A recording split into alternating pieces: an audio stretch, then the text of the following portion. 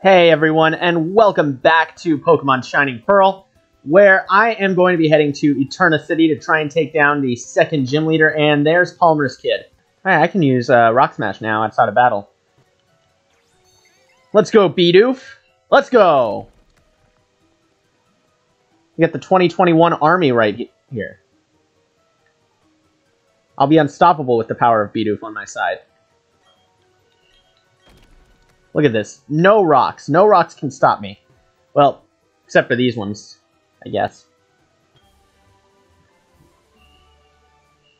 It's a TM I'm never going to use. Alright, Turtwig, it's up to you. You can win this battle right here. I believe in you. All you have to do... Come on, crit, crit, crit, crit, crit. Dang. Oh, this is crit! Let's go! My reads are on point. Let's freaking go. May not have been for the knockout, but still, that was hype. That was so hype right there. I would be very happy to see a double battle right here. Let's go, it's a double battle.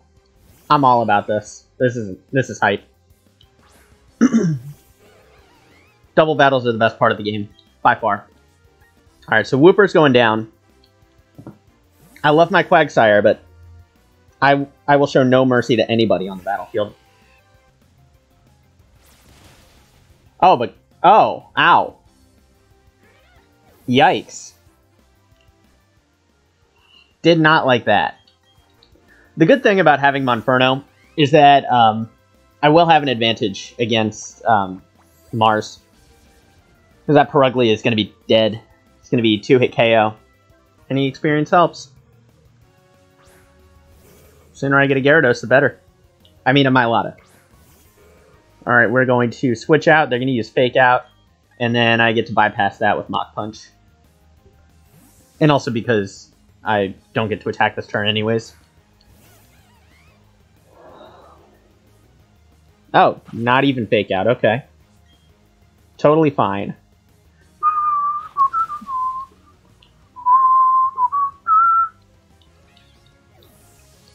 GG's.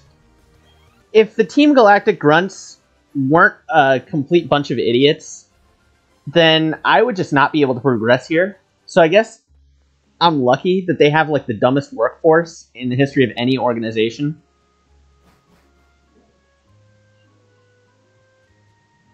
Because of these two losers right here. All right, I'm about to I'm about to bring down their whole operation. It probably would have been smart to use potions before this.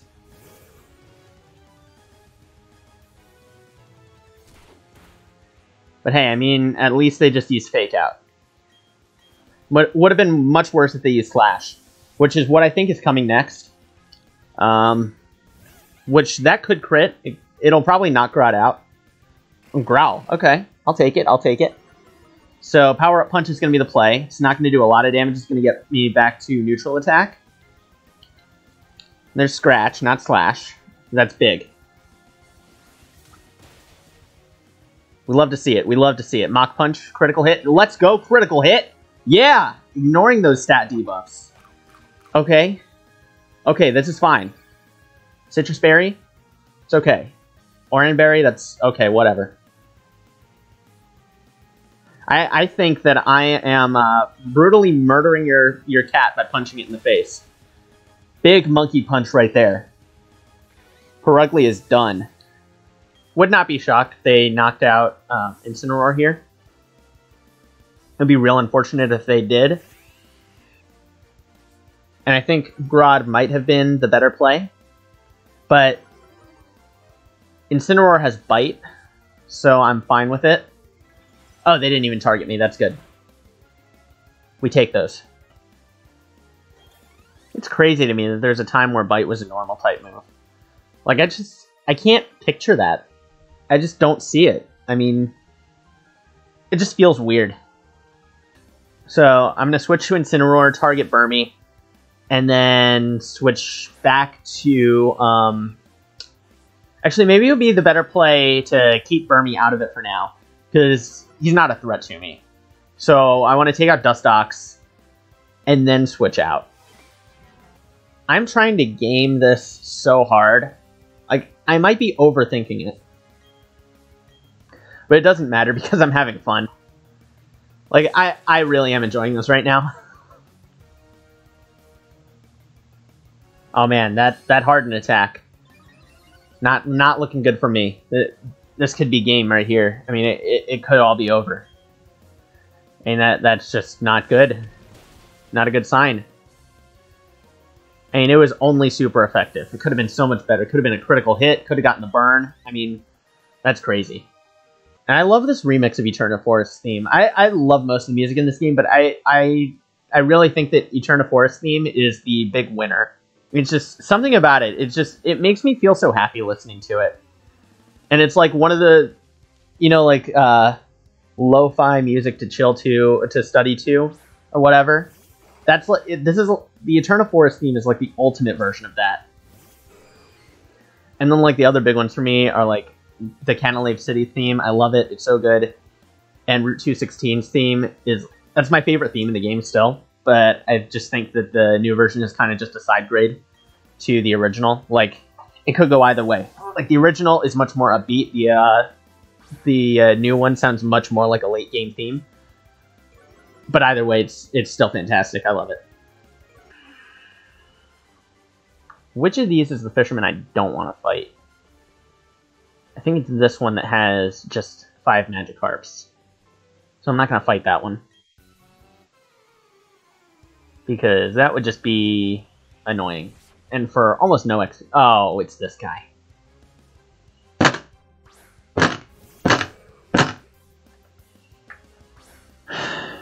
I chose wrong.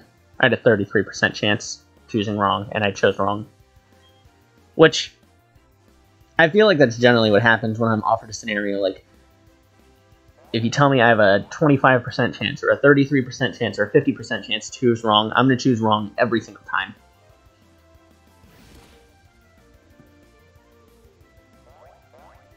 So, like, I don't know. I'm just going to use tackle. Because there's no point.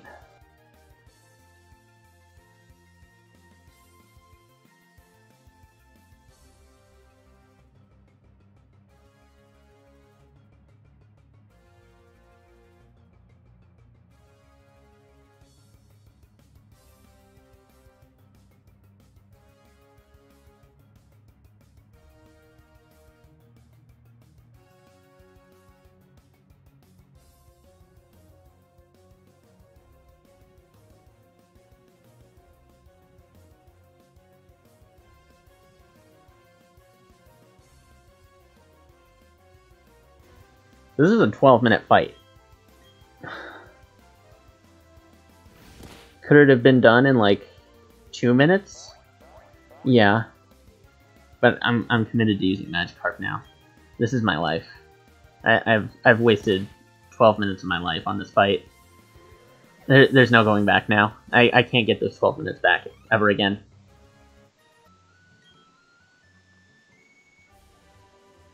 Alright, so I get the TM for cut. I'm not going to use that because cut is not a good move. And it's 50 damage, and that's the only effect other than that you can use it outside of battle. At least I'm fairly certain. Did they buff it at all? Yeah, no, they didn't buff it at all. It's got 95 accuracy too. That is like, it is an actively bad move. I no, why would you? No, it, it just should not be available in the game. You could have made Swords Dance the the uh, the hidden move. I mean, sure, it wouldn't have been a one to one remake, but like, it would have been more interesting. Let's see if there's anything here that uh, piques my interest, though. I can't get to that item. Okay, so I just have this little area until I beat Byron. Geodude? Nah. Uh, no. I'm thinking more like a uh, Clefairy. If I see a Clefairy, I'll catch it. Gladly. Let's go! Yes!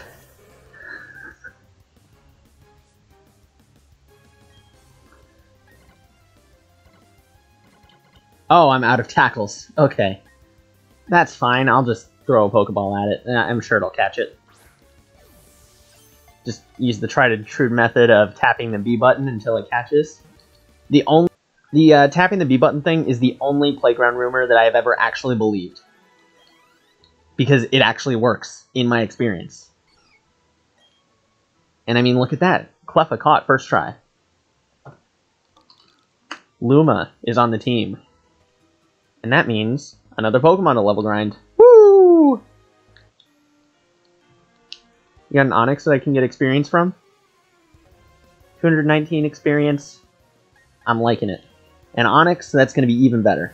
It's going to be big, like 350. That's what I'm guessing for Luma. That's fantastic. Alright, so we don't get the level up for Milotic. That's fine. For Luma, though, nice. Oh, Rourke, you, did, were you hiding from me? Did I beat you that bad? I just want to find one Pokemon to add to the team so that when I have Houndoom, I'd love to add Houndoom, but I have a Fire type already. I have Houndoom in my other Shining Pearl playthrough. It's a rare spawn. I should probably at least knock it out for the experience.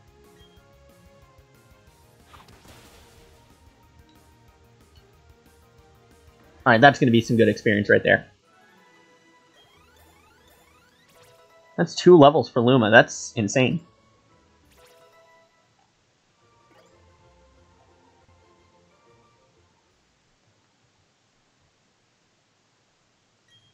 Alright, Milotic's evolving. For a second I forgot about Milotic and I thought, wait, is Luma evolving this early? like, no way. I, have seen I've seen friendship Pokemon evolve early, but never uh, never like two battles in. Gyarados, it's awesome. Well, I mean, I'm sorry, Milotic. I mean, there are a ton of Onixes in here. I could just knock them all out for a bunch of experience. Probably what I'm going to do after I catch this Rhyhorn.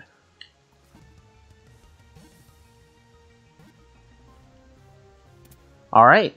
Got a full team, finally. That's fine, though. Especially if I can get the flinch here. Crit, nice. Ah, dang. If only I had gotten the flinch. That would have been great. That would have been, like, the most optimal play that could have happened.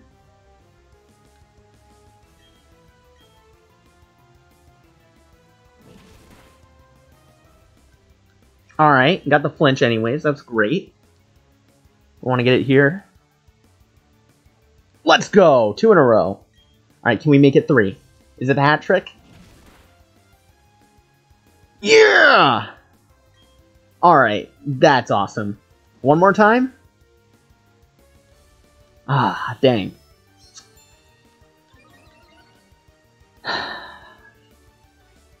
Three times in a row, though, that's insane those are some really good odds. And the crit beforehand, that was awesome.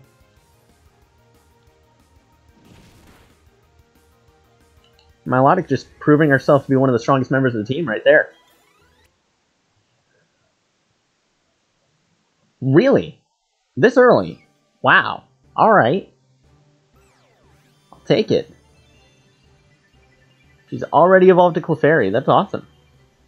Thing is, once I get a Moonstone, it then becomes do I evolve Clefairy right away and go for the stats?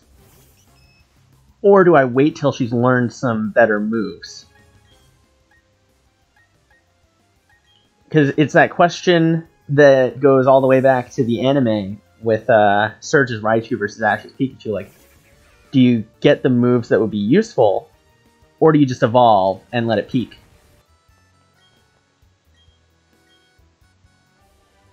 Alright. TM for a move I'm never going to use. It's awesome. And she doesn't even explain what the move does.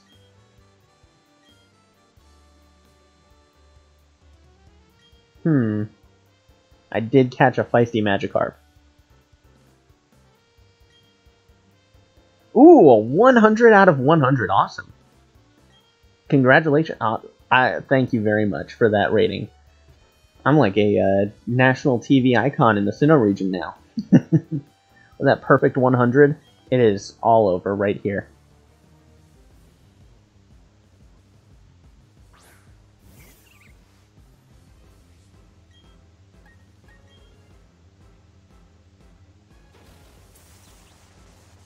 No.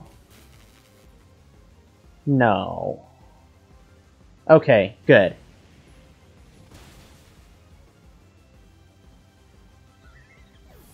Alright, good game. And that's gym number two. Done and done. And why does this building look like Bowser's shell? Or like the blue shell from Mario Kart? I'm like, oh crap, we put those bushes in front? I thought nobody would be able to get past those stupid little bushes. Who's ready for what I would call a sick combo?